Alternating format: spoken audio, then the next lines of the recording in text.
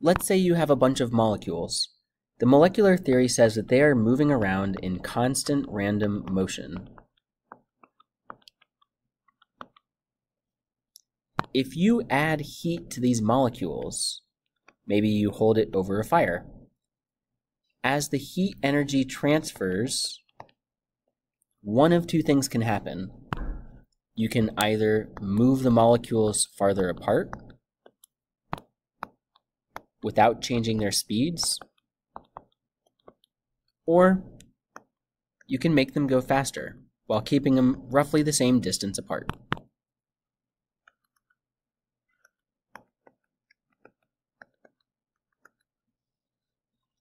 In the first case, this is a change of phase.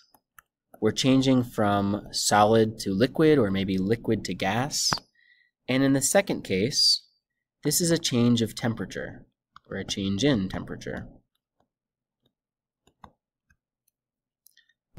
In the first case, we are adding potential energy. That's where the heat goes. And in the second case, we are adding kinetic energy.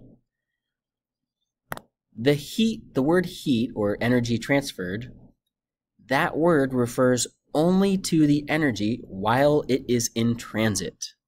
Once it becomes potential energy or kinetic energy, we no longer refer to it as heat. It's only heat while it's going from one object to the other object.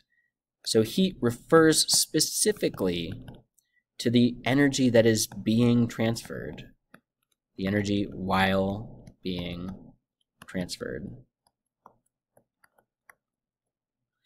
And once it becomes inside the object, we refer to it as internal energy, which can be either the potential or kinetic energy of the molecules. So, heating can do two things. You can either change temperature or you can change phase.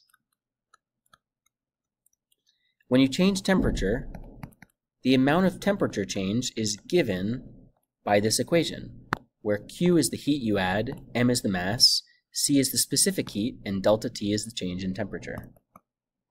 When you change phase, the amount of heat is given by this equation. M is the mass, and L is the latent heat. This value will be different for the two types of phase changes. In particular, there is a latent heat of vaporization and a latent heat of fusion. Vaporization is what we use when we're going one way or another between a gas and a liquid. Fusion is what we use when we're going one way or another between a liquid and a solid. So if you're freezing the object, that's liquid to solid, you would use the value for fusion. If the phase change is condensing, condensing is going from gas to liquid, so you would use the latent heat of vaporization. The positive and negative are there because if you are finding the amount of heat when an object is freezing, well, to freeze an object, you have to extract heat. You have to take heat out of the object. So we would add the negative there, and we would use the latent heat of fusion because freezing is a case of liquid to solid. If you were melting by contrast, when you melt an object, you add heat to it. So you have a positive sign. We choose the positive. And then you use again for melting the latent heat of fusion, because melting is going from solid to liquid. By contrast, this equation needs no positive or negative added in because it shows up on its own through the delta T.